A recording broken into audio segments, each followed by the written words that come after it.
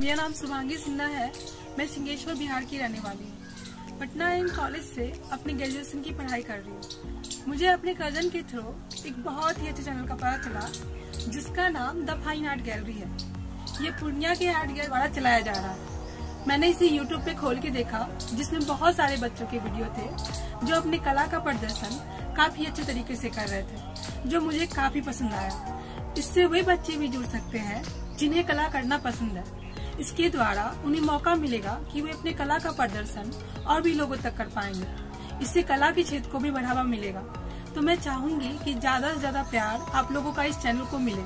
तो इसके लिए आपको इस चैनल को लाइक करना है, कमेंट करना है और सब्सक्राइब करना है। ये आपका कला के क्षेत्र